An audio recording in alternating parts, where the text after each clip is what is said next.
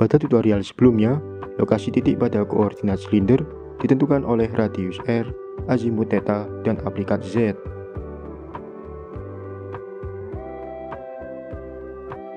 Dan lokasi titik pada koordinat rektangular ditentukan oleh absis X, koordinat Y, dan aplikat Z.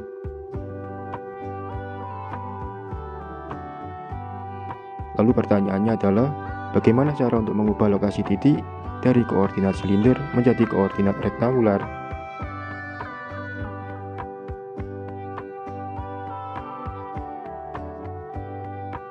Untuk menjawab pertanyaan ini, kita akan melakukan superimpos antara kedua sistem koordinat.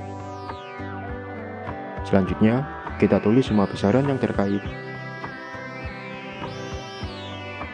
Jika dilihat dengan seksama, Nilai dari aplikat antara kedua koordinat adalah berhimpitan.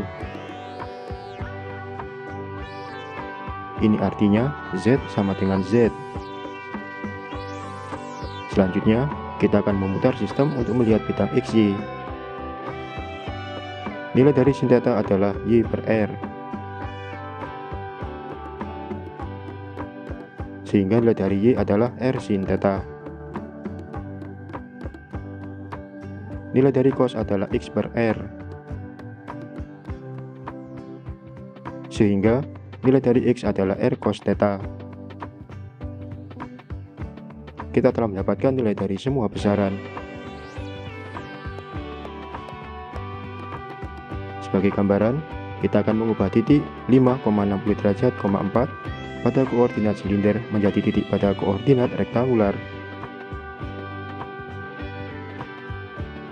Maka nilai absis X adalah 5 cos 60 derajat sama dengan 2,5. Nilai ordinat Y adalah 5 sin 60 derajat sama dengan 2,5 akar 3 setara dengan 4,3. Nilai aplikat Z adalah 4. Sehingga lokasi titik pada koordinat rektangular adalah 2,5, 4,3, 4.